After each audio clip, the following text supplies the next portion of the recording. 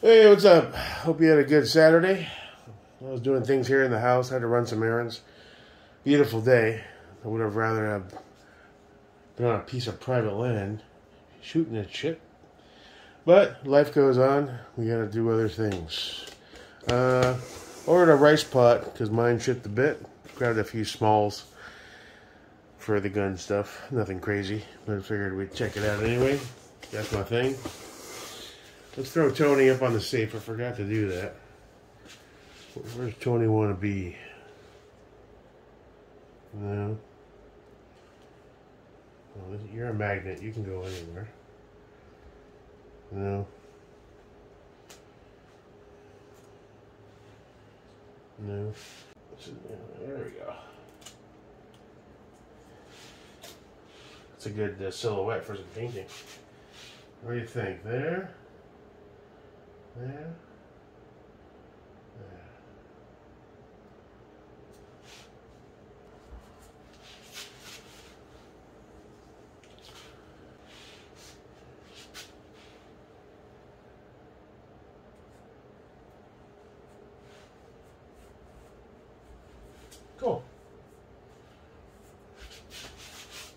All right.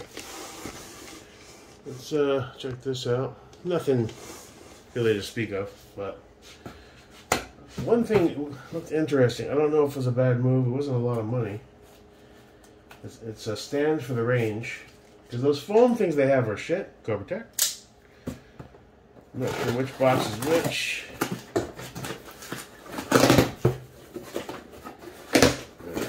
Got some smalls here. I ordered another set of these. These are awesome. I misplaced some of the other small ones. I'm not quite sure what the exact size is, so it sounds good to have a backup. They're like seven, eight bucks. I figured I'd try this Lucas gun oil gun grease combo. I've read good things. Now, this is the one I'm interested in.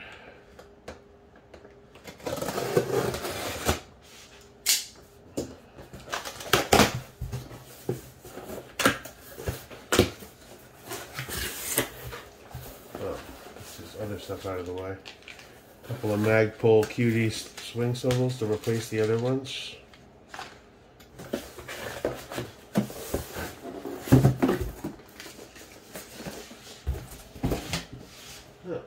Seems a bit smaller than it, what it looked like in the photo. Wonder if I made a mistake.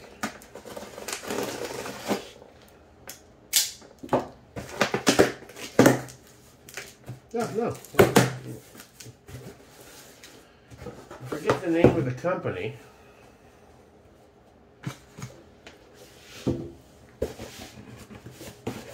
It's like 25 bucks. But it's rigid. It's not foam. It's going to bounce around on you. Can you fill this with sand or something?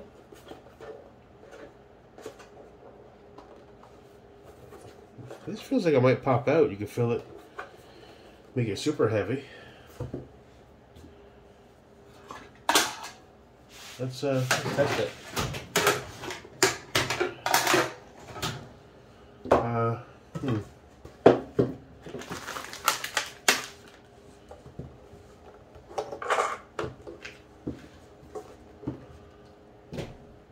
I mean, I probably wouldn't bring the rear piece. That's more for just a stand here on one of the benches if I'm doing something.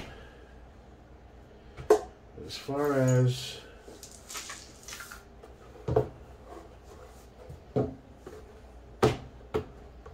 I mean, it's pretty stable. This feels like, yeah, and you can fill that up with water or water's probably a good idea if the range has a hose or even the sink they have there in the bathroom. Then it won't move at all. And when you're done, you just dump it out. So that might not be a bad idea. I'm just trying to think of what applications make sense. The ones at the range sit about this tall, maybe a bit taller. And you're sitting down. It's got like this textured tape kind of surface.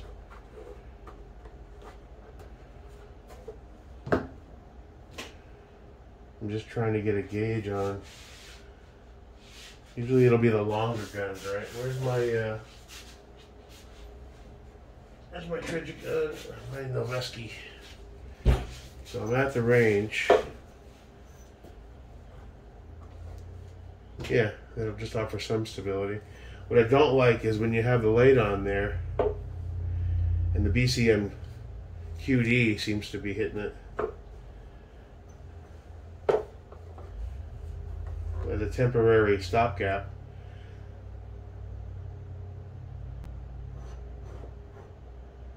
It's not bad, I guess. It wasn't much. It was like twenty-four dollars for the set.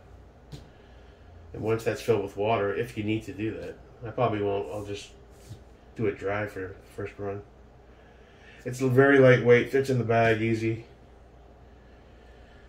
And the only thing that seems to keeping it from having a nice solid drop down is the light, and more importantly, that BCM QD is uh, really messing with it. Because if you come down this way, well, I don't know. I thought maybe it was worth a try.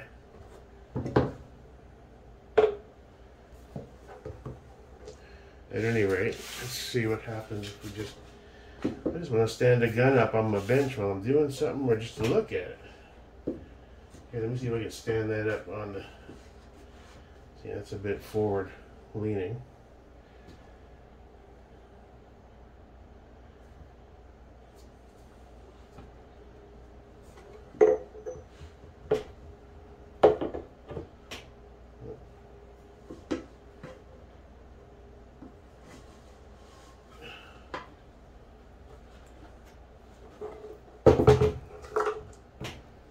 Oh, That's really stable. So it'll mostly act as a holder.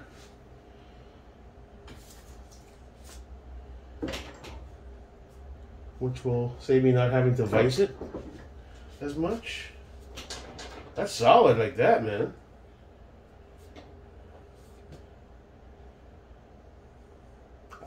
I think it's a good buy.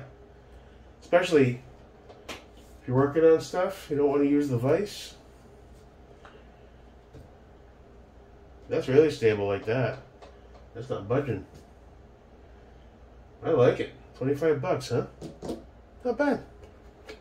Uh, I made an attempt to loosen up a couple of these rail screws. I was going to try to put the combat rail over it and thread this just to see if the because the combat rail I think it is a 10 inch. This barrel's 8.6. So I was gonna try, you know, just to try it. Uh, but I tried two screws. I used heat, and they just kind of strip a bit. They don't really want to come out. They use some heavy duty Rocksett type shit on this gun. It does not want to break free. And I, and I, I kind of stopped and said, "Screw it! I'm gonna run it as is." I'm sure there's a way to get it out, but everything that's on here really wants to stay on here. I mean, even that tube was a major pain in the fucking ass. But I got that one. The screws, there's not much to grab onto.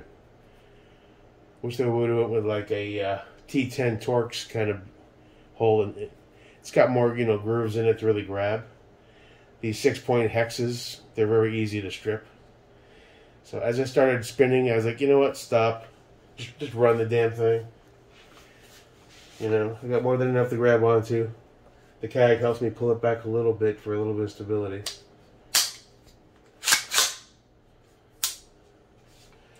So yeah, cool.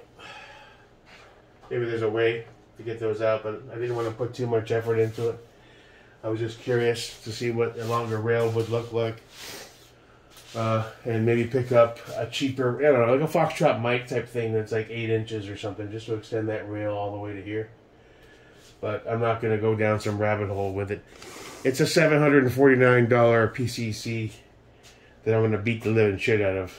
I'm just going to shoot it and uh, it's the first foray into AR based nines. Get me used to that. Still can rep all the muscle memory from shooting that with cheaper ammo will still lend to the other guns. So all in all, it is what it is. Uh, yeah, so that's that. well, I hope you're having a great weekend. I'm gonna keep on keeping on. Got some floor washing, some laundry to do. Hopefully tomorrow, I uh, maybe get my ass out there. Uh, we'll see, but soon. But yeah, dude, that's solid. I'm gonna drop a link to that in the description. It's like 20. I think just this was like 17, 18 bucks or something like that. But the set was like 24.98 or it's it's plastic, you know. As far as how well put together the plastic is, if you're gonna fill it with water or sand, or whether or not it leaks, I don't know. But just to have something on your bench as a stand, is it for me? That's worth 25 bucks. Once this is all cleared off over on the other bench, I can have one gun over there. I can have another here. I can throw another up here. You know, it gives it gives you options. You know, grab the Geissele.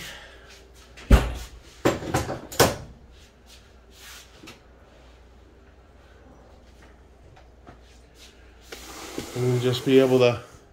I don't know why you would need so many guns at once to be accessible, but except for like Instagram or some shit. But oh well, it's kind of cool anyway. All right, enjoy your uh, weekend, boys. Yeah, this Lucas gun grease looked interesting.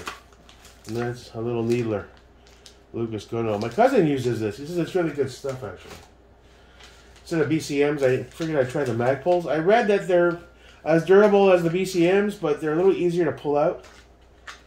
I find the BCM sometimes you have to kind of struggle with them a bit. These, uh, I mean, it's Magpul, so I forget which sling I have to upgrade out, but it's pretty easy to check. It's those old ones I bought a year and a change ago. They're really shiny metal, Amazon specials, like 10, 12 bucks. They weren't that much cheaper than the good ones, but at the time I didn't know any better.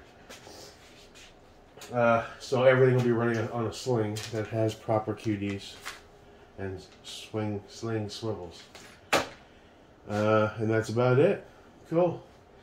Okay, weekend. See you when I see you. Your pal, Jake Merica.